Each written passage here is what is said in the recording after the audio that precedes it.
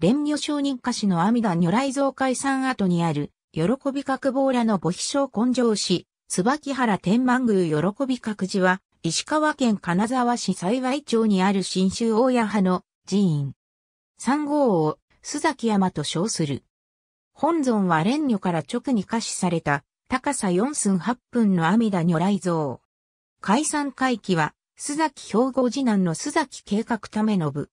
会期の喜び閣は、永享5年6月25日、元、大見国馬淵号の号子須崎兵庫次郎右衛門の次男として生まれた。文明3年に、片田で、蓮如に帰依して、喜び閣の号を拝命する。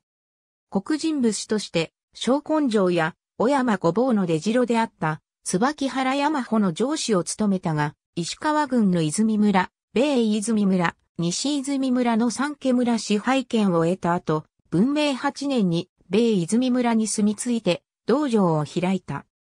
一向一揆の指導的立場にあり、一向州都が富樫正親を高尾城に攻め滅ぼした長教の一揆では、総大将、富樫康高の下で実質的なの指揮権を握った。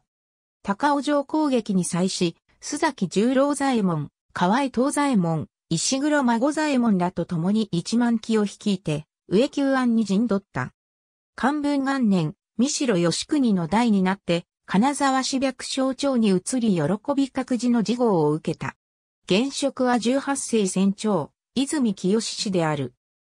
門とは、現在の金沢市の八田、大場、西年、長田、二口、若宮、松村、玉鉾、入江、黒田、東緑、造船、西金沢、西泉、米泉、泉屋、住吉、新保、坪野、大平沢、及び現在の野々市市の大市の野台、二日市など、中近世紀の石川郡東南部と河北郡の一部に分布している。行事は一般開放されており自由に参詣可能。喜び各自演技勘知論富樫氏とかが一行、一期資料、関山王著、山科安図亭、野口正義皇帝。昭和48年石川県市書館公開発行。ありがとうございます。